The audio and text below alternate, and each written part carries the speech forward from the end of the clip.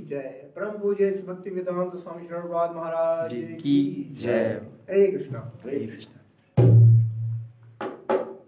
जय राधा।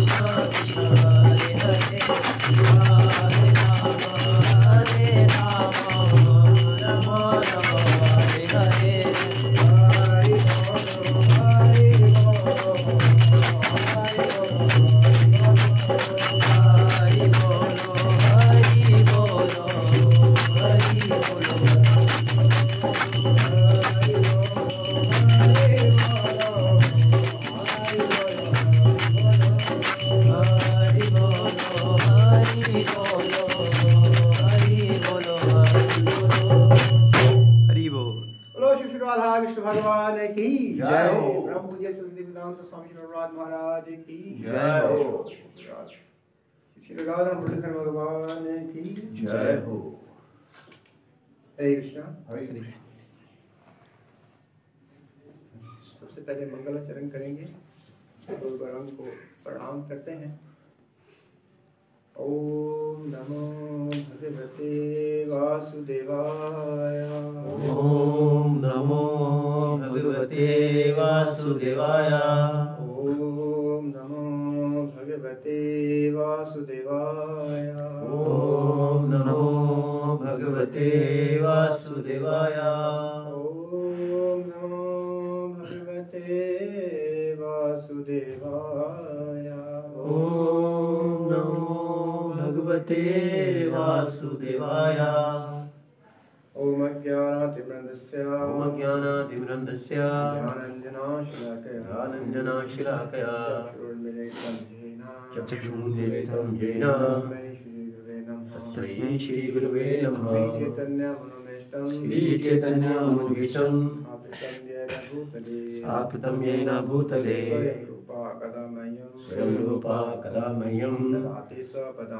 ददाति स्वपदान्तिकं हे कृष्णा करुणासिन्धु। हे कृष्णा करुणा सिन्धु दीनबन्धु जगत्पते। गोपेश गोपिका कान्त। कान्ता राधाकान्त नमस्ते राधाकान्ता नमस्तुते। तप्ता काञ्चन गौरङ्गी। काञ्चन गौरङ्गी। राधे वृन्दावनेश्वरी। राधे वृन्दावनेश्वरी। विष्णुस्ते देवी। विश्वानुसुते देवी। प्रणमामि हरिप्रिये। प्रणमामि हरिप्रिये। वाञ्छाय कल्पतरुभ्यश्च वाञ्छाय कल्पतरुभ्यश्च कृपा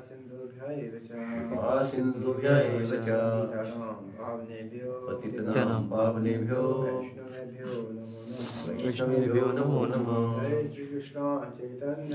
जय श्री कृष्ण चैतन्य। प्रभु नित्यानंद श्री अद्वैता गदाधर श्री नारायणं नमस्कृत्यं नरं चैव नरोत्तमं नरं चैव नरोत्तमं देव्यं सरस्वत्यं व्यासं देवीं सरस्वतीं व्यासं ततो जयमुदीर्ये ततो जयमुदीर्ये नष्टे प्रायेषु भद्रेषु नष्टे प्रायेषु भद्रेषु नित्यं भागवतसेव्या भगवति उत्तमश्लोके भक्तिर्भवति नैष्टकी हरे कृष्णा हरे कृष्णा हरे कृष्णा हरे कृष्णा। कृष्णा हरे हरे कृष्ण कृष्ण हरे हरे। राम हरे राम हरे राम। हरे राम राम राम हरे हरे। राम राम हरे हरे। कृष्ण भगवान की जय हो। हरे कृष्ण। हरे कृष्ण। श्रीमद् भागवत महापुराण पहला स्कंद दूसरा अध्याय श्लोक संख्या अठारह। ये भागवतम भगवान का ही साक्षात स्वरूप का है। हम जब भागवत को पढ़ते हैं तो हमारे अंदर भगवान की प्रेम भक्ति प्रकट होती है। तो इसका प्रमाण कहाँ से मिलता है हमको? इसी भागवतम से ही इसका प्रमाण मिलता है। कि जब हम ये श्लोक आज पढ़ रहे हैं श्लोक की कृपा के द्वारा तो मैं साथ आप पीछे बोलने का प्रयास कीजिए। नष्टे नष्टे प्राय प्राये भद्रेषु अभद्रेषु नित्यं नित्यं भागवत भागवत सेव्या सेव्या भगवती भगवती उत्तम उत्तम श्लोके श्लोके भक्तिर् भक्तिर्भवति भवति नष्टकी नैष्ठकी। नष्टे प्रायेषु भद्रेषु नष्टे भद्रेषु नित्यं भागवत सेव्या। नित्यं भागवत सेव्या। भगवती उत्तम श्लोके। भगवती उत्तम श्लोके। भक्तिर्भवति नैष्ठकी। नष्टे नष्टे नित्यं भागवत सेव्या। नित्यं भागवत सेव्या। भगवती उत्तम श्लोके। भगवती उत्तम श्लोके। भक्तिर्भवति नष्टकी भक्तिर्भवति नैष्ठकी। नष्ट इसका शब्दार्थ करेंगे। नष्ट। नष्टे। खत्म करते हैं। खत्म करते हैं। प्रायशु प्रायशु तकरीबन सफ- सिफर सब खत्म। जीवन सब खत्म। अभद्रेशु भद्रेषु तमाम नामामूर्ति से। तमाम नाम तमाम नामामूर्तियों से। नित्यम बाकायदगी से। बाकायदगी से। भागवत। भागवत। श्रीमद् भागवतम श्रीमद् भागवतम या शुद्ध भक्ति। सेव्या। खिदमत के ज़रिए के भगवती भगवती। भगवान में भगवान में। उत्तम उत्तम। रूहानी रूहानी। श्लोके श्लोके। दुआएँ या प्रार्थनाएँ। भक्त भक्त प्रेम भक्ति। प्रेम भक्ति। भक्ति पैदा होती है। पैदा होती है। नष्ट की। नैष्ठकी अटल। अटल। जिनका नाश ना हो। श्रीमद् भागवत की क्लासों में बाकायदगी से हाजिर रहने और शुद्ध भक्तों की सेवा करने से दिल के तमाम दुख मुकम्मल तौर पर खत्म हो जाते हैं और इन परम पुरुष भगवान की अटल प्रेम भक्ति कायम हो जाती है जिनकी हमदसना रूहानी गीतों के ज़रिए की जाती है। और श्रीमद् भागवत महापुराण की जय। हो। इसका मफहूम पढ़ेंगे श्लोकबाज जी के द्वारा। यहाँ पर कुछ शनासी की राह में रुकावट बनने वाली नामामारिक चीज़ों को दिल से निकालने का इलाज दिया गया है। और ये इलाज भक्तों की संगत करना है। भागवत दो तरह के हैं। एक तो भागवतम की किताब और दूसरा भगवत भक्त। ये दोनों ही काबिल इलाज है और इनसे, इनमें से दोनों ही रुकावटें हटाने वाले हैं। भागवत भक्त श्रीमद् भागवतम की किताब की तरह ही हैं। क्योंकि भागवत भक्त श्रीमद् भागवतम की किताब के मुताबिक ही ज़िंदगी बसर करता है। और श्रीमद् भागवतम की किताब तो भगवान और उनके शब्द शुद्ध भक्तों यानी भागवतों के ज्ञान से भरपूर है। श्रीमद् भागवतम की किताब और भागवत शख्स मुख्तलिफ़ नहीं है। भागवत भक्त भगवान का बरह रास्त नुमाइंदा है। लिहाजा भागवत भक्त को खुश करने से श्रीमद् भागवतम की किताब का फ़ायदा उठाया जा सकता है। इंसानी दलाल ये नहीं समझ सकते कि किस तरह से भागवत भक्त या श्रीमद् भागवतम की किताब की सेवा के ज़रिए कोई भक्ति की राह में रफ्ता रफ्ता तरक्की कर सकता है। लेकिन ये हकीकत है जिसकी वजाहत श्रीला नारद जी के ज़रिए की गई है, जो अपने पिछले जन्म में एक नौकरानी के बेटे थे। ये दासी ऋषि मुनियों की सेवा करती थी और इस तरह वो भी उनके रास्ते में आई। सिर्फ़ उनकी संगत से और उनका झूठा खाना खाकर ये दासी का बेटा श्रीला नारद के नाम से अजीम भक्त और शख्स बन सका।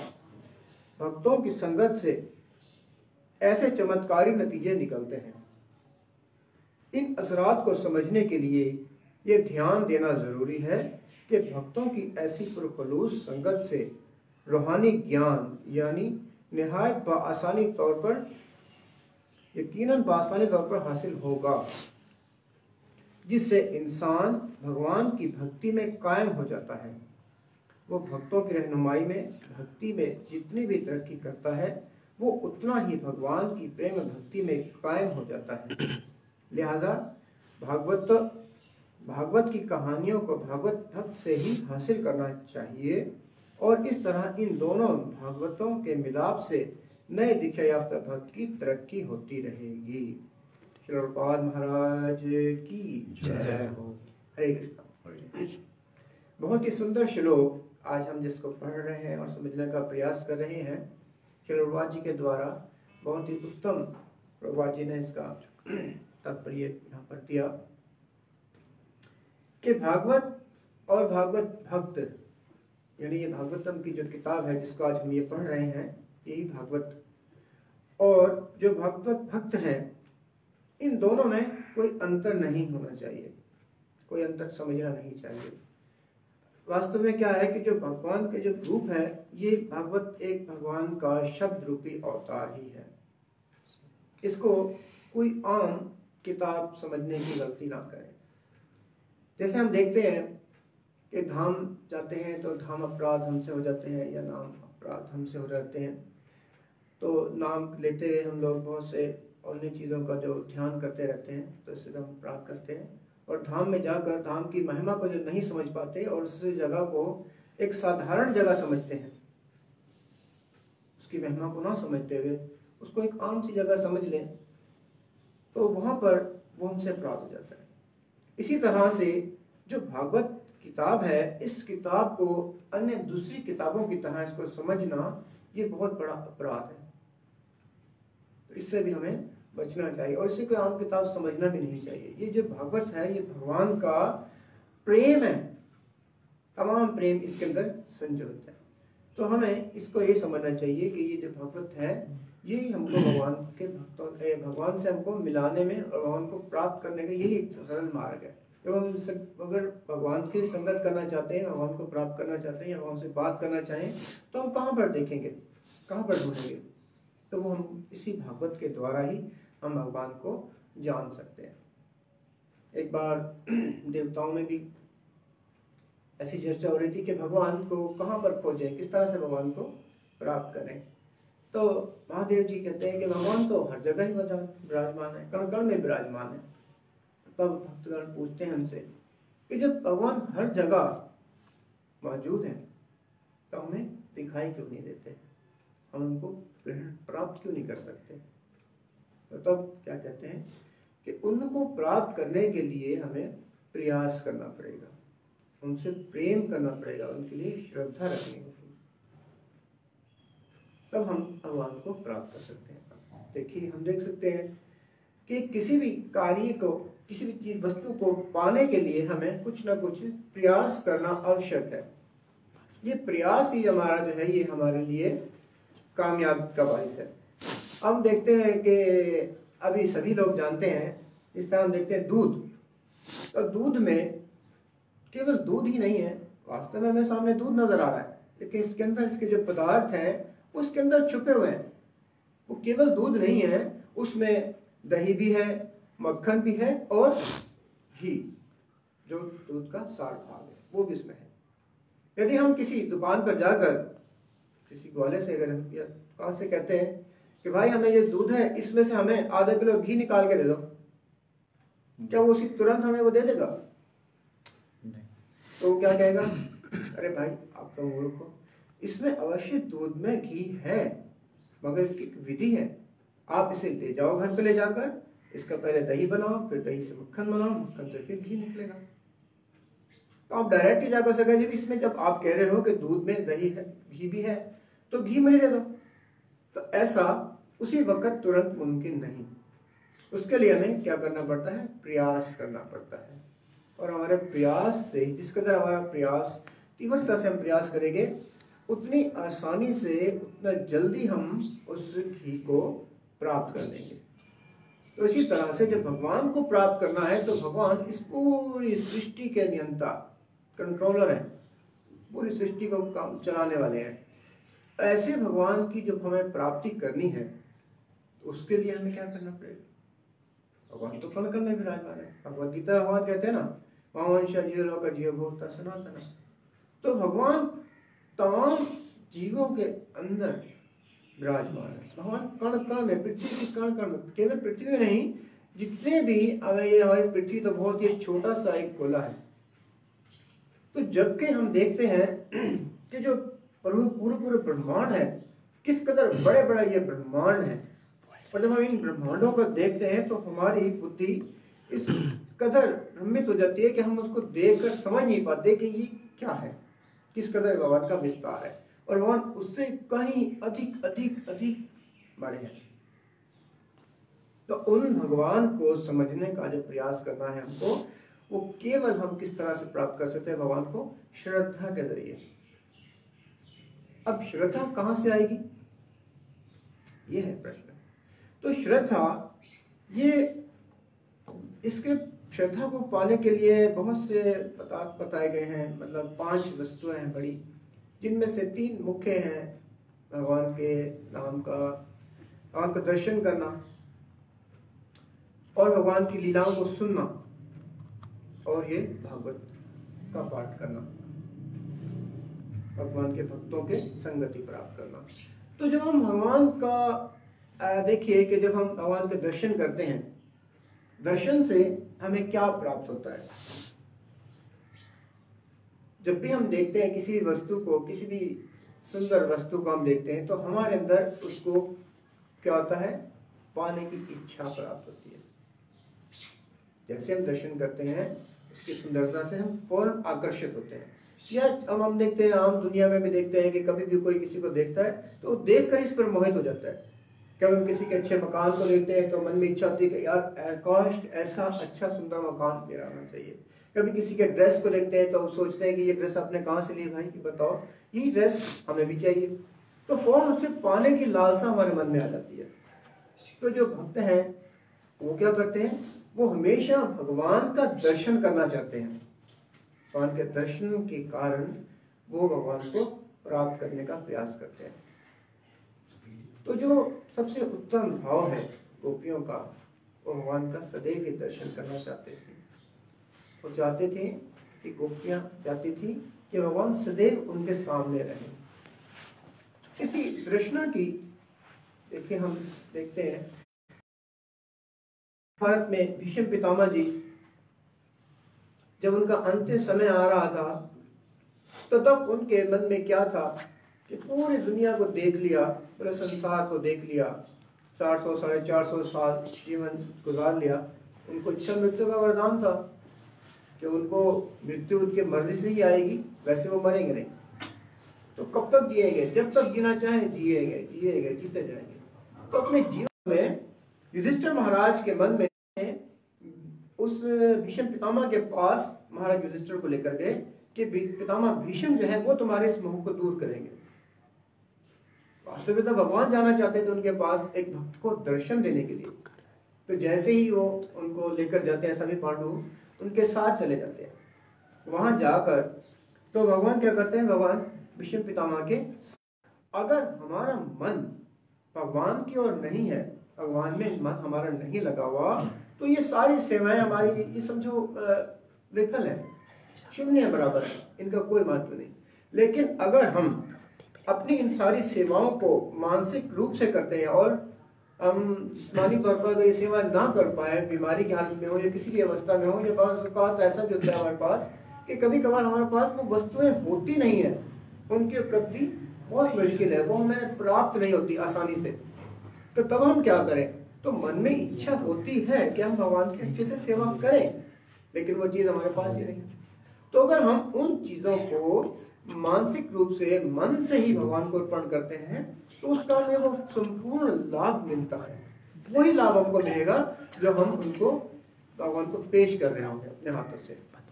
और वही हम मन के द्वारा भी उनको हम दे सकते हैं। तो भगवान उसे स्वीकार करते हैं। और यदि अगर हमारा मन उनमें ना हो तो फिर चाहे लाख वस्तुएँ भगवान को सामने अर्पण करते रहें। अगर हमारा मन उसमें नहीं है तो भगवान उसे स्वीकार नहीं करते। इसीलिए भगवत गीता में भगवान ने क्या कहा अगर कोई मुझे श्रद्धा से फल, फूल, पत्ता या पानी भी अर्पण करता है तो मैं उसे स्वीकार करता हूँ। यहाँ पर भगवान ने बहुत सारे पदार्थों के बारे में नहीं कहा। केवल छोटी छोटी मामूली सी चीज़ें, जो हमारे रोज आम इस्तेमाल की चीज़ें हैं, कि हर शख्स की वो पहुँच में है। हर कोई उनको दे सकता है। इसलिए पितामह भीष्म ने उन्हें मानसिक रूप से, मन से उन्हें अपनी निगाहों से भगवान को प्रणाम किया और भगवान ने उसे स्वीकार किया। तब भगवान से भीष्म पितामह जी कहते हैं कि हे श्री कृष्ण आपने तमाम जो भी आप कार्य करते हो, उसमें बहुत सी लीलाएँ अवश्य छुपी होती है। और ये महाभारत का जो युद्ध आप ही के रचना, आप ही की एक इसमें लीला थी और ये ऐसा हुआ। और मैं आपका एक बहुत छोटा सा दास हूँ, जो आपकी खिदमत करने की कोशिश कर रहा हूँ। आपको खुश करने का प्रयास कर रहा हूँ। कृपा करके मेरी इन सेवाओं को स्वीकार कीजिए। और आप मुझे ये वरदान दीजिए कि आप मेरे सामने बस खड़े रहिए। मैं आपका दर्शन करना चाहता हूँ अपनी आँखों से। तो अब देखिए, भगवान से अगर पूछे कि कब तक तुम मुझसे तुम मुझे देखना चाहते हो? तो कहते हैं हे भगवान, आप मेरे सामने बस इसी तरह से खड़े रहिए और मैं आपको देखते देखते देखते ही अपने प्राण त्यागना चाहता हूँ। अर्थात भगवान के दर्शनों से ही अपनी आपको समाप्त करना चाहता हूँ। तो ऐसा भाव है दर्शन करने का। तो हम कहते हैं कि, सुनते हैं कि जो सुनना भगवान के विषय में सुनने से भी हमारी जो है वो श्रद्धा वो होती है। तो सुनने के विषय में हम देखते हैं कि जब तक हम भगवान के अपने कानों के द्वारा हम भगवान के दर्शन करते हैं मतलब आँखों से देखना ठीक है, लेकिन अगर उससे भी अधिक हमारे इस कान के द्वारा हम भगवान के दर्शन करते हैं उनके दर्शन कैसे? कान का कार्य तो सिर्फ़ सुनना है, देखना नहीं है, लेकिन हम जब भगवान के रूप पर दर्शन करना चाहते हैं, वो किस तरह से हम उनको देखेंगे? भगवान के विषय में जब हमें कुछ पता होगा तो तभी हम उनको देख पाएँगे ना। जब तक हमें उसके बारे में ज्ञान नहीं होगा, हम उनको नहीं प्राप्त कर सकते। यहाँ पर बहुत ही सुंदर एक मिसाल दी जाती है माता रुक्मणी जी देवी जी की, कि जिन्होंने केवल भगवान श्री कृष्ण के विषय में सुना था। उनकी बचपन की लीलाएँ सुनी उनके पराक्रम उन्होंने पराक्रम के विषय में सुना। तो ये सारा सुनने से ही उनके मन में ऐसा भगवान के प्रति प्रेम प्रकट हुआ कि बस मन में ठान लिया कि मुझे श्री कृष्ण से ही विवाह करना है। अगर मेरे पति बनेंगे मेरे जीवन में तो ये सिर्फ़ केवल श्री कृष्ण हो सकते हैं। तो ये भगवान की सुनने की महानता है। फिर जैसे जैसे हम भगवान के विषय में सुनते हैं, सुनते चले जाते हैं वैसे वैसे हमारा भगवान से प्रेम और ज़्यादा से ज़्यादा प्रकट हो जाता है। जब हम धाम में जाते हैं और किसी भी धाम के विषय में जब हम पहले बिना सुने उस धाम में जाएँ तो हमें उस धाम की अहमियत उजागर नहीं होती हमारे मन में। उससे प्रेम नहीं होता, उससे लगाव हमारा नहीं होता। जैसे हम किसी धाम के विषय में वहाँ के मौजूद उस भक्त से जो वहाँ पर सेवा कर रहे हैं, उनसे उसके बारे में सुनते हैं कि बताइए इस धाम की क्या महानता है, क्या अहमियत है। तो तब हमें पता चलता है और जैसे हम उसके बारे में सुनते हैं तो हमारा फ़ौरन उसके अंदर से मन लग जाता है। बहुत सारे धाम हम देखते हैं, वृंदावन धाम, गोकुल धाम। तो ये भगवान के सारे पवित्र धाम है, इनके विषय में हम सुनते हैं। तो ये सारे जो धाम है, इनके विषय में हमें बताते हैं कौन? वेद शास्त्र। और हमने जैसे भगवत इसमें रूपाल जी के द्वारा हम पढ़ रहे थे, हमने सुना कि जो भागवत और भगवत भक्त हैं, वो भक्त हमें भगवान का प्रेम प्रदान करते हैं, कि वो हमें अच्छे से सुनाते हैं इसके विषय में। अब देखिए, जैसे नारद मुनि जी के बारे में रूपा जी बता रहे थे, नारद मुनि जो हैं, वो एक दासी के पुत्र थे। और पहले जन्म में दासी के पुत्र थे और वो दासी क्या करती थी? भक्तों की सेवा क्या करती थी? चतुर्मास के महीनों में, जैसे चार महीनों में जो भक्त वहाँ पर आते थे, वो उनकी सेवाएँ क्या करती थी? उन्होंने कहा, झूठन खा कर ही अपने पुत्र को भी देती थी। उनका झूठन खाने से ही उनको ये नारद मुनि जी का नाम, नारद मुनि जी का ये पद प्राप्त हुआ। तो केवल भक्तों की सेवा करा। और ये को, दूसरे लोगों को भगवान की भक्ति में जोड़ने का श्री प्रभुपाद हमारे परम पूज्य गुरु महाराज, जिन्होंने अपने गुरु महाराज जी का आदेश का पालन करने के लिए अमेरिका गए और उस वक्त उनकी उम्र सत्तर साल की उम्र थी। वो वृंदावन में थे। अगर वो चाहते तो वृंदावन में रहकर बड़े आराम से भगवान की सेवा कर सकते थे। सुबह की मंगल आरती करना, शाम को संध्या आरती करना, जपा करना। और तमाम तरह अपने भक्तों के संग में रहने से वो बहुत अच्छे से जीवन गुजार सकते थे। लेकिन उनके गुरु महाराज का आदेश था कि आपको जाना है ऐसे देश में कि जहाँ पर भगवान नाम को जानते नहीं लोग। वहाँ जाकर जाओ और भक्तों को, उन लोगों को भगवान का नाम का प्रचार दो। भगवान के विषय में उनको बताओ, भगवान के बारे में उनको समझाओ। तभी वो लोग भक्त बनेंगे। उन्होंने गुरु महाराज का आदेश को पालन किया। और वो बिना उनके पास कोई संपत्ति नहीं थी, कोई धन नहीं था। लेकिन गुरु महाराज का आदेश मन में था, उसको लेकर चले गए। जाकर उन्होंने वहाँ पर प्रचार किया। किस कदर मुसीबतें सही, किस कदर उन्होंने वहाँ पर तकलीफें उठाई तो ये हम बिल्कुल भी जान नहीं सकते। तो हमें भक्ति में तजुर्बात भी करना चाहिए एक्सपेरिमेंट करना चाहिए हमें। कि किस तरह से उन भक्तों ने प्रयास किया। अभी देखो, हम समझ रहे हैं कि ये जो दिसंबर का महीना है, ये एक बुक मैराथन के नाम से भी हम इसको जानते हैं। हमारे स्कॉन वैष्णव ने बताया में ये। बुक मैराथन का मतलब क्या है कि किताबों का वितरण करने का ये महीना है। जिस कदर ज़्यादा से ज़्यादा हो सकता है, इन किताबों का वितरण कीजिए। इन किताबों का प्रसारित करना, इन किताबों में ये जो जितने भी हमारे पास बुक्स हैं, इन किताबों को हमें वितरण करना है। अच्छे से ये लोगों को फैलाना है, ताकि लोग इसको पढ़कर भगवान के भक्त बने। अभी भक्तों, हम देखते हैं कि अभी हमारे पास बहुत सी भगवत किताबें हैं, भगवत गीताएँ हैं, बहुत सारी जल्दें उसकी। हज़ारों की तादाद में हमारे पास ये मौजूद हैं, भागवतम पुराण है। तो श्री प्रभुपाद जी ने भागवतम पुराण को लिखा, कितनी उसकी कापियाँ बनाई। एक भागवतम को अठारह हज़ार श्लोकों को उन्होंने प्रसारित किया तो तकरीबन अठारह बुक्स बड़ी बड़ी वो मुरतब हो गई। अठारह किताबों में वो समाया गया। शिवपाल जी ने एज इट एज एक एक श्लोक एक एक लफ्ज एक एक लफ्ज का तर्जमा, उसका मुकम्मल तौर पर वो उन्हें ट्रांसलेट करके दिया। अब इस कार्य को करना इतना आसान नहीं है। इससे पहले हम देखते हैं चैतन्य महाप्रभु के दौर में, जब ये किताबें आज से 500 साल पहले, जब हमारे पास ये साइंस और टेक्नोलॉजी इतनी नहीं थी, इतनी इतनी तरक्की नहीं की थी प्रिंटिंग प्रेस वगैरह इतने नहीं थे वहाँ पर तो तब वो लोग, वो भी इस बुक मैराथन को करते थे। किताबों का प्रसारित करना, किताबों को डिस्ट्रीब्यूट करने का काम वो करते थे। लेकिन वो कैसे करते थे? ये सीखने का प्रयास कैसा था उनका? आज अगर हम उसके विषय में थोड़ा सा जाने तो हमें हमारी अकल दंग रह जाती है कि उन लोगों ने किस कदर प्रयास किया होगा। श्रीनिवास प्रभु जी, उनकी इच्छा थी चितने महाप्रभु जी से भागवत सीखने की। तो भागवत सीखने के लिए वो जाते हैं पुरी में श्रीनिवास प्रभु जी। तो वो बहुत सारा सफ़र तय करके गए। जैसे जब वहाँ पर पहुँचे तो वहाँ पर उन्हें पता चला कि महाप्रभु जी वो पुनः धाम लौट गए हैं।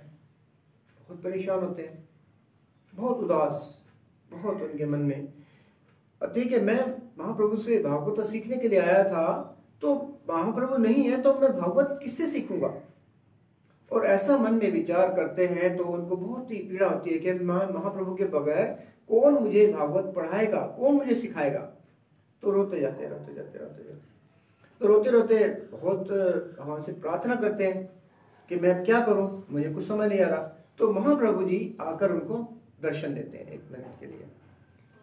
तो दर्शन देते हैं महाप्रभु से और कहते हैं कि अभी तुम जाओ। गदाधर पंडित के पास, वो अभी भी इस धरती पर विराजमान है। वो तुम्हें भागवत का ज्ञान देंगे, वो तुम्हें भागवत पढ़ाएँगे, समझाएँगे। तो महाप्रभु की इच्छा, उनकी बात ये सुनकर श्रीनिवास प्रभु जी बहुत प्रसन्न हो जाते हैं कि ठीक है, जैसी आपकी आज्ञा आपने मेरे लिए जो योजना बनाई, मैं इसी के तहत भागवत को सीखूँगा, जाकर समझूँगा। तो वहाँ पर पहुँचे बहुत प्रयास के बाद, गदाधर पंडित के बाद जब जाते हैं तो गदाधर पंडित भगवान की मौजूदगी नहीं है उस वक्त चित्र महाप्रभु ने नहीं है। तो वो उनकी गैर मौजूदगी में वो बहुत रोया करते थे। और भागवत को पढ़ते जब पढ़ते थे तो भागवतम को पढ़ते पढ़ते उनके अश्रु जो है वो भागवतम पे गिरते थे। उनके पास जो कॉपी थी, उस पर भी अश्रु जो गिरा करते थे तो उनके अश्रुओं से वो भागवत बहुत सारी जगहों से वो मिटता मिटता मिटता मिटता चला जा रहा था। तो जैसे ही अब ये श्रीनिवास प्रभु उनके पास आते हैं, उनसे प्रार्थना करते हैं कि, हे गदाधर पंडित प्रभु जी, कृपा करके मुझे भागवत का ज्ञान दीजिए, मुझे भागवत सिखाइए। वो कहते हैं कि मेरे पास जो भागवतम की जो कॉपी है, वो तो दृश्य रही है। उसमें तो कुछ भी नज़र नहीं आता, कुछ समझ नहीं आएगा तुम्हें। तुम जाओ पहले एक भागवत की कॉपी लिख कर लाओ। और फिर मैं तुम्हें वो भागवत सिखाऊँगा। मैं तुम्हें उसको पढ़ाऊँगा। तो उस वक्त वो जाते हैं और अपने हाथ से भागवत को लिखते हैं। एक एक शब्द को बड़े और से, तवज्जो से देखकर एक एक लफ्ज को देखकर उन्हें लिखते हैं। तो लिखते लिखते लिखते लिखते उन्हें एक वर्ष पूरा लग जाता है। एक भक्त को लिखने, अठारह श्लोक मुकम्मल लिपिबद्ध करने के लिए। अब जब उन्होंने एक एक साल में ये श्लोक सारे लिख लिए तो तब गदाधर पंडित के पास जाते हैं तो तब उन्हें पता चलता है कि गदाधर पंडित भी इतना धाम को छोड़कर भगवान के पास चले गए। अब फिर से चिंतित हो गए। फिर उन्हें बहुत धचका लगता मन में कि अब मैं भागवत किससे सीखूँगा? तो ये भागवत, अब मैं कहा जाऊँ, किसके पास सुनो फिर रोना शुरू कर देते हैं, बहुत परेशान होते हैं। तो फिर गदल पंडित आते हैं, उन्हें कहते हैं कि तुम चिंता ना करो, अभी इस पृथ्वी पर सनातन गोस्वामी और रूप गोस्वामी हैं, वो तुम्हें सिखाएँगे। तो जब उन्होंने ये सब सुना तो ठीक है, जी गोस्वामी और गोस्वामी के पास जाओ, वृंदावन में। तो जब वृंदावन में जाने लगे तो वहाँ से देखे पुरी का वृंदावन का कितना बहुत ज़्यादा डिस्टेंस है, बहुत ज़्यादा फास्ट है। तो उनको वहाँ तक आने में काफ़ी टाइम लग जाता है। पैदल सफ़र करना था उस वक्त इतना हमारे पास, जैसे आज हमारे पास एयरप्लेन है, यहाँ से बैठो शुरू एक जगह से दूसरी जगह पहुँच जाते हैं। लेकिन उस वक्त, उस जमाने में ये सब सुविधाएँ वो नहीं थी हमारे पास। तो तब उनको चलकर पद यात्रा करनी पड़ती थी।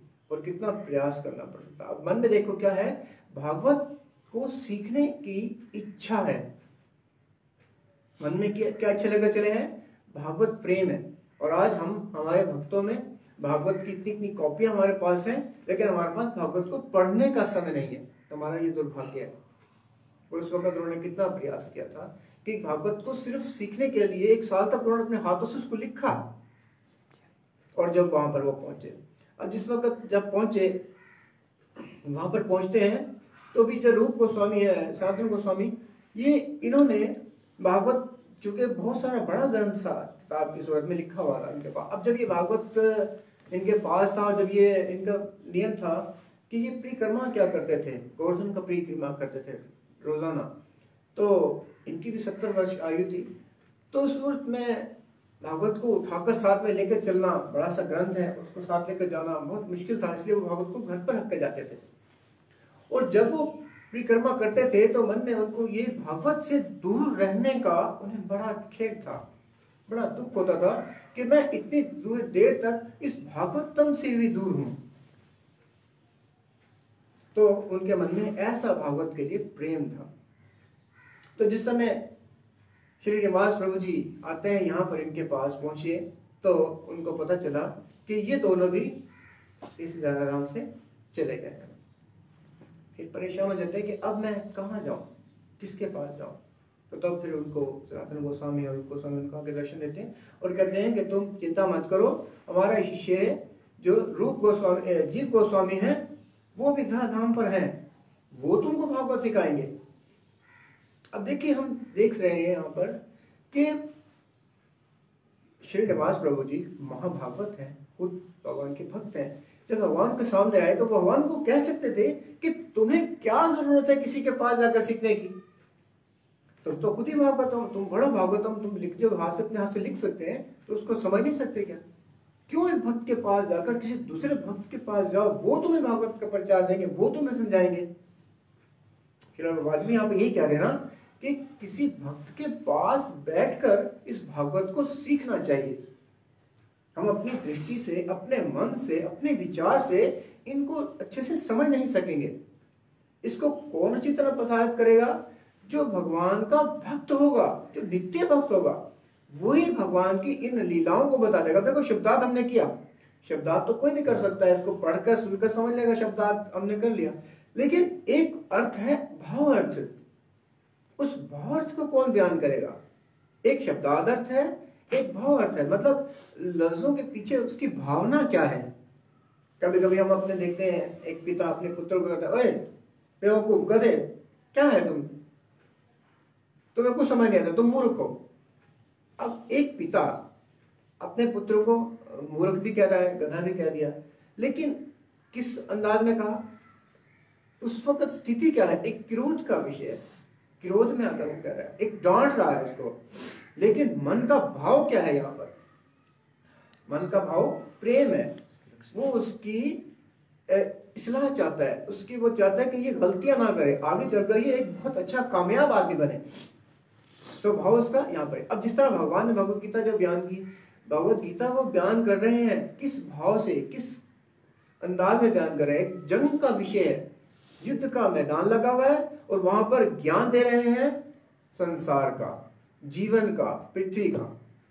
इस तरह हम देख रहे हैं कि जब यही भागवत सुखदेव गोस्वामी जी बता रहे थे तो सुखदेव गोस्वामी जब बता रहे थे महाराज परीक्षित को, अब परीक्षित महाराज जिनके सर पर मौत मंडल आ रही है, सात दिन है उनको, केवल।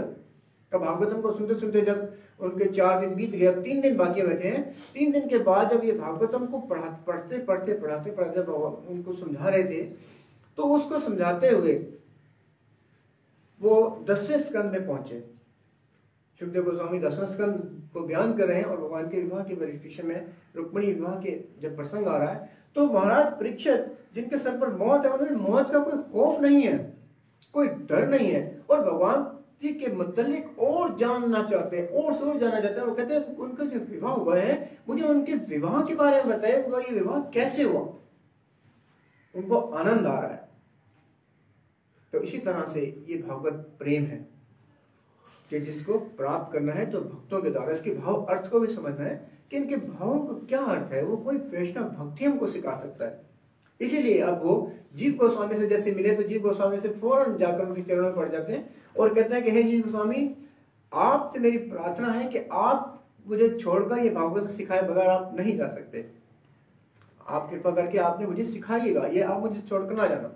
तो तब वो उनको उठा के गले लगाते हैं और कहते हैं कि हाँ ये भागवत जो है, इसे अवश्य तुम्हें सीखना है और तुम कैसे करो, गोपाल भट्ट आचार्य हैं उनके पास उनको लेकर जाते हैं और फिर ले जाकर उनको उनकी दीक्षा करवाते हैं। और फिर वो उनको रूहानी दीक्षा देकर इस भागवत का प्रचार उनको देते हैं, भागवत सिखाते हैं। तो ऐसे हम देखते हैं कि किस कदर ये प्रयास किया उन भक्तों ने इस भागवत को। जी, अब हमें देखें, हम इसका हम तजुर्बात हम कर सकते हैं कि किस तरह हमें तजुर्बा करना है ना। जब तक हम, देखिए, भक्ति का हमें बढ़ाने के हमें क्या है? श्रद्धा किस तरह आती है? हमारे सुनने के द्वारा हमको श्रद्धा आती है। हमारे दर्शन करने से हमें श्रद्धा आती है। और फिर हमें जांचना चाहिए। जब हम सीख रहे होते तो हमें उसको गहराई से सीखना है। ऊपर ऊपर से नहीं सीखना। गहराई में जब तक हम नहीं जाएँगे, तब तक हम उसके अर्थ को समझ नहीं पाएँगे। थोड़ा सा धनिया ऊपर पर डाल दिया। अब धनिया ऊपर पर डाल देने से क्या हुआ? वो केवल ऊपर की शोभा बढ़ाएगा। लेकिन अगर हम उसमें नमक डालते हैं उस नमक को हम ढूंढे तो वो कहाँ है? बाज़ार में नमक नज़र नहीं आएगा। उसकी कणक कणक के अंदर बस जाता है, उसके टेस्ट को बढ़ा देता है, उसके अंदर सरायत हो जाता है, गहरे में। तो ऐसे हम लोग भक्ति करते हैं, केवल ऊपर ऊपर बनकर अभी हमें भगवान के विषय में जानना है, जाने भी नहीं, बस हमें माला मिल गई, गुरु महाराज ने माला दे दी। ये माला लीजिए माला जपा करो। चार दिन माला क्या करना शुरू कर दिया? भगवान की आरती शुरू कर दी। हाँ हम तो भक्त बन गए। हमें तो सब पता चल गया।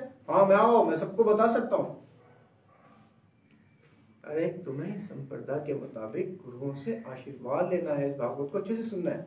राधा गोविंद स्वामी महाराज, एक मरतबा एक भक्त से उन्होंने पूछा कि वो भागवत कथा कर रहे थे। उन्होंने पूछा, भागवत कथा आपने की? भागवत हम कितनी बार पढ़ा है आपने? कहते हैं, गुरु महाराज, मैंने चार बार तबा, चार बार मैंने भागवत को पढ़ा महाराज कहते हैं अच्छा इसका मतलब तुमने भागवत नहीं पढ़ा? उन्होंने सोचा, शायद इन्होंने सुना नहीं कि मैंने चार मरतबा कहा है। वो पूछने लगे कि, फिर बताया कि महाराज, मैंने ना चार बार भगवान की कृपा से भागवत को पढ़ा है। कहते हैं हाँ इसका मतलब तुमने नहीं पढ़ा अभी? कहते हैं महाराज, मैंने चार बार पढ़ा है।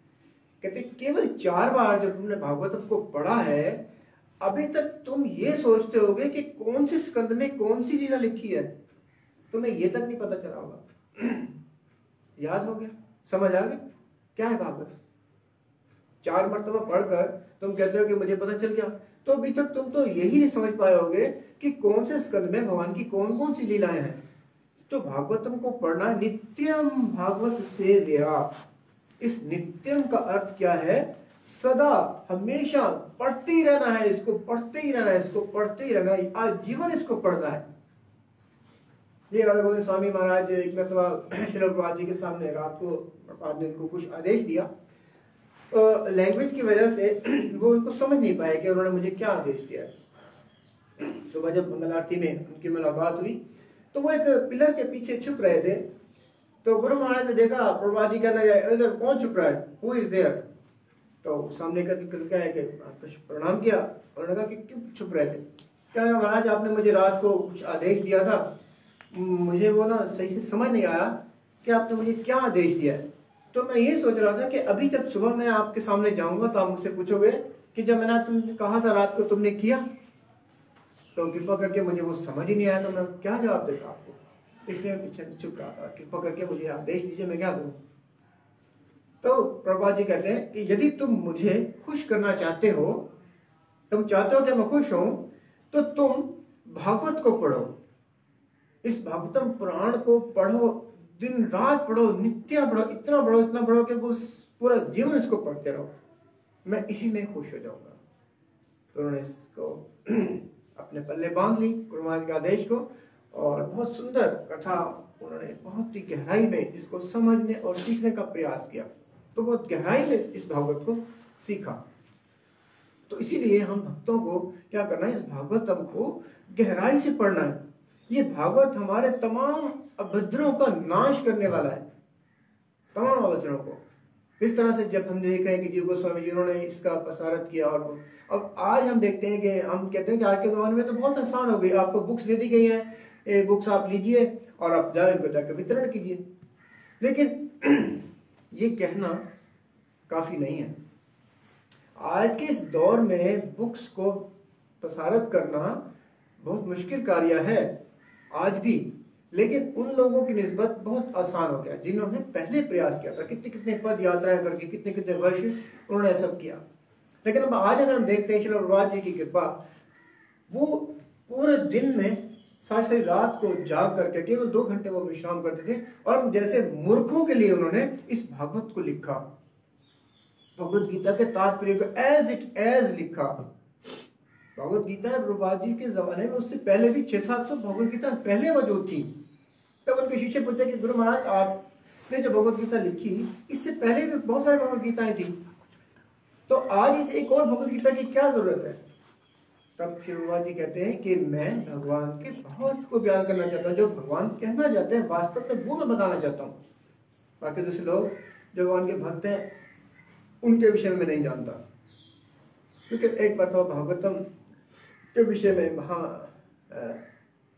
शंकर भोलेनाथ जी कहते हैं कि अहम बेटी शुक्र बेटी मैं जानता हूँ शुभदेव गोस्वामी जानते हैं। व्यास वेती, ना वेती हो कि व्यास देव जी उनका पता नहीं, वो जानते हैं या नहीं जानते? मैं नहीं जानता। केवल मैं जानता हूँ भगवत को और शुभदेव गोस्वामी जानते हैं। क्यों? क्योंकि हम देखते हैं कि महादेव जी परम वैष्णव है। वो तो भगवान के भक्त हैं और शुभदेव गोस्वामी भक्त हैं। अब जब वेदव्यास जी, वो भगवान, वो तो भगवान है। अगर वो भगवान है तो नहीं जानते। अगर वो भक्त है तो जानते हैं। अब भागवत को उन्होंने चारों वेद, तमाम वेद शास्त्रों को लिख दिया। अठारह प्राण लिख दिए, सतारह प्राण लिख दिए, लेकिन उनके मन को शांति प्राप्त नहीं हो रही थी।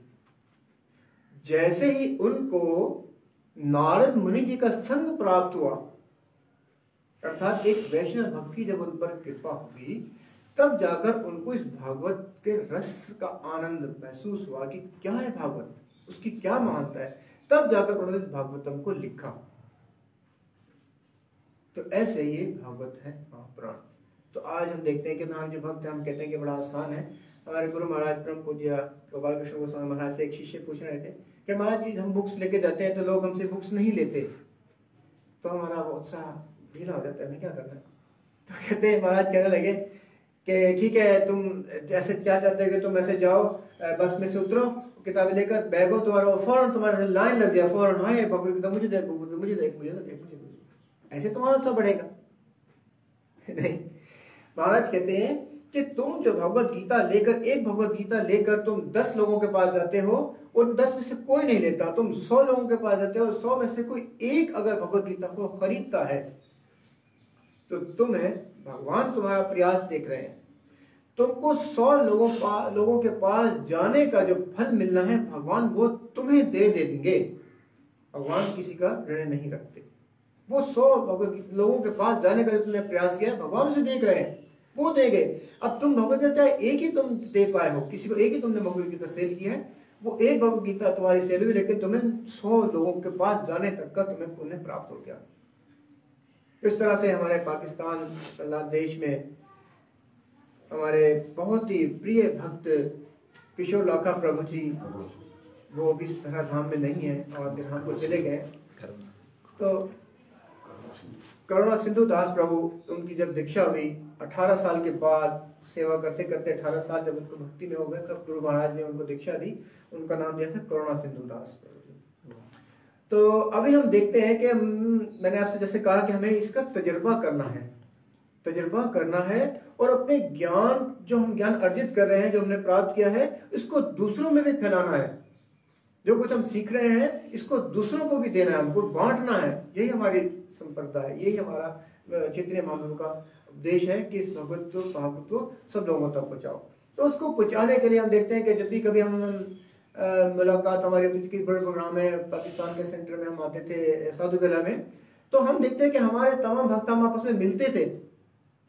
तो उस वक्त करुणा सिंधु प्रभु जी, उनके पास क्या था? उनका पर्सनल लैपटॉप था।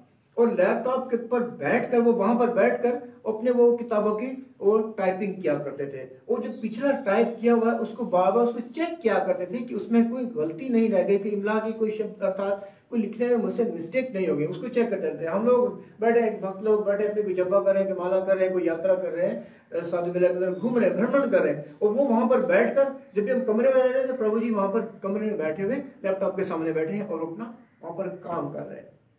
तो ऐसी उनकी मेहनत थी। तो यहाँ पर हम देख सकते हैं कि उनके कितना बड़ा उपकार है पाकिस्तान के भक्तों पर कि उन तमाम बुक्स को जो शिला जी ने जो लिखी, उन किताबों का उर्दू में ट्रांसलेशन किया। इंग्लिश और हिंदी से बुक्स को देखकर इतनी इतनी उन्होंने शब्दात डिक्शनरी शब्द कोशियाँ की और उन्होंने इस किताबों को ये प्रसारित किया। उर्दू में हमारे लिए ये ज्ञान लिखा। अब जब भी हम किताब को खोलते हैं तो यहाँ पर हम देखते हैं, ये उसके पहले पेज के ऊपर, किशोर लाका प्रभु जी। हर किताब के ऊपर। आप जब देखेंगे, उनका किताब को मिलने का एड्रेस हमारे पास यहाँ पर लिखा हुआ कराची से। वो देख रहे हैं। कामिल सवाल, कामिल जवाब, सुदामा भक्त। ये छोटी सी किताबें उन्होंने लिखी। जैसे हम इनको अंदर से खोलेंगे तो यहाँ पर हमें उनकी ये काविश और ये उनकी ये मेहनतें हमको नज़र आएँगी यहाँ पर। यहाँ पर हम देखते हैं ये वापसी। ये इसके अंदर भी हम देखेंगे श्री जी की कृपा द्वारा, और यहाँ पर ये उनका नाम लिखा होगा। कि उनकी ये मेहनत है, किस कदर वो प्रयास कर रहे थे हम भक्तों के लिए कि ये सब किताबें हमारे लिए बनाई जाए, उर्दू के अंदर ये हो। और छोटी छोटी किताबों की सूरत में ये उन्होंने ज्ञान दिया, और कितना कितना समय उन्होंने दिया। ये देखें भक्त सुदामा भगत ये जन्म मृत्यु से तरह ईश्वर पाद जी की तमाम किताबों को उन्होंने इस तरह करा। और यहाँ पर हम देखते हैं कि बड़ी किताबों में ये भक्ति रस अमृत सिंधु, ये इसको उर्दू में ट्रांसलेट करके उन्होंने पूरा इसका पूरा का पूरा ट्रांसलेशन करके और ये किताब की सूरत में हमें दे दी। आज हम भक्तों के पास इतना भी समय नहीं कि इन किताबों को लें, इनका पढ़ें और ये किताबें दूसरों तक पहुंचाएँ। तो ये हमारी बहुत बड़ी कोताही है। ऐसे ऐसे भक्त हमको मिले। मैं उनका बहुत ही धन्यवाद करना चाहता हूँ। अपनी इस ऑफिशियल पाकिस्तान टीम का चंद्रमोहन प्रभु जी हैं डॉक्टर विद्या माता जी हैं, हमारे आदरणीय गुरु जी श्यामानंद प्रभु जी जो पाकिस्तान को लीड कर रहे हैं राम यज्ञ प्रभु जी, राम सखा प्रभु जी, हमारे आदरणीय मदन मोहन प्रभु जी हैं, और अन्य बहुत सारे भक्त हैं। हमारे विष्णु लोकदास प्रभु जी हैं, नंद कुमार प्रभु जी, बहुत सीनियर भक्त हैं प्रद्युम प्रभु जी हैं रोनी नंदन प्रभु। तो ये सारे के सारे भक्त, ये हमारे इस देश में भगवत प्रचार कर रहे हैं। और ये हमारी टीम इसकॉन अफियर पाकिस्तान, जो फेसबुक के माध्यम से हमारे प्रचार कर रहे हैं, हमको, मैं ऐसा मूर्ख, ऐसा पापी कि मुझे किसी बात का पता नहीं है। आज हमको इस व्यास आसन पर बिठा दिया। मैं इन सब का बहुत बहुत धन्यवाद करता हूँ। इन्हें खराज तसीम पेश करता हूँ। और श्री अब्बास जी को बहुत बहुत मैं प्रणाम करता हूँ कि जिन्होंने इस भागवत प्रचार को हम तक पहुँचाया। अगर वो ना होते, उनकी कृपा ना होती तो आज हम यहाँ बैठकर पढ़ नहीं रहे होते, पढ़ नहीं रहते सुन नहीं होते, समझ नहीं पाते। तो मेरी आपसे हाथ जोड़कर प्रार्थना है, ये बुक मैराथन है। आपसे जिस कदर हो सकता है इन बुक्स को लीजिए। अब हमारे लिए तो ये बिल्कुल आसान है कि केवल आपको प्रिंट करके किताबें हाथ में दे दी गई हैं। आप इन किताबों को लीजिए इनको किताबों को दूसरे लोगों तक पहुंचाइए और उनको पढ़ने का आदेश दीजिए। उनको पढ़ने के लिए रिक्वेस्ट करें कि ये प्रभा जी की किताबें हैं आप इन किताबों को लें इन किताबों को पढ़ें जिस कदर आपसे हो सकता है। तो हमारा यहाँ पे समय भी होता जा रहा है तो मैं आपसे क्षमा मांगूँगा। दो तो आपसे मेरी बारम्बार यही विनती है कि इन ग्रंथों को, खासतौर पर भागवतम को, भगवत गीता को, आम हमें नहीं समझना। ये साक्षात भगवान का रूप है, भगवत गीता शब्द रूपी अवतार है। और ये भगवत, इसमें भगवान का अटूट प्रेम संजो दिया गया है। जब हम देखते हैं कि कलयुग जब अंड में भगवान जब जा रहे थे धराधाम से तब भागवतम में इन्होंने सवाल किए थे ना ऋषि मुनियों ने, छह सवाल उनमें ये सवाल भी था कि भगवान के जाने के बाद धर्म ने किसकी शरण ली है? तो भगवान हमको किस तरह प्राप्त होंगे? और हम हमको कैसे मिल सकते हैं? भगवान को कैसे दर्शन कर सकते हैं? तो ये भागवत इस संसार में हमारे पास भगवान ही है। जब हम भागवतों को पढ़ेंगे, सुनेंगे, समझेंगे तो हमारा भगवान से प्रेम, ज़्यादा से ज़्यादा हमारा उनसे प्रेम प्रकट होगा और हमारे अंदर भगवान की अटूट भक्ति जन्म लेगी। और उस भक्ति के कारण ही हम भगवान को प्राप्त कर सकेंगे। हमारे मन में दीक्षा लेने की तो जब हमें जब हमें ज्ञान हो जाएगा तो ज्ञान होने से क्या, भागवत को पढ़ने से हमें क्या होता है? ज्ञान और विरक्ति दोनों ही हमारे अंदर आ जाएँगे। आसक्ति खत्म होगी हमारी मादी संसार से और भगवान में हमारा प्रेम जागृत होगा। इस भागवत को पढ़ने से, भागवत को सुनने से। तो यही हमारा परम धर्म है। श्री भगवान जी की कृपा हम पर हो रही है। तो हम इस हम अपना कर्तव्य निभाएँ, इन किताबों का ज़्यादा से ज़्यादा वितरण करें। और अभी गीता जयंती भी आ रही है, हम देख रहे हैं आगे आगे थोड़े दिन में। गीता जयंती आने वाली है। तो पूरी भगवत गीता जिन लोगों ने पढ़ ली है नहीं पढ़ी मेरी हमसे हाथ जोड़कर प्रार्थना है कि इस भगवत गीता को ज़रूर पर ज़रूर पढ़िए। एक मरतबा पूरी भगवत गीता को संपूर्ण करने की कोशिश कीजिए। आप सबका बहुत बहुत धन्यवाद। मैं पूरी टीम का धन्यवाद करता हूँ जो इस माध्यम से इस पूरे जगत में ये प्रचार को फैला रहे हैं आप सबका बहुत बहुत धन्यवाद। हरे हरे कृष्ण भावना। हरे कृष्ण। हरे हरे कृष्ण।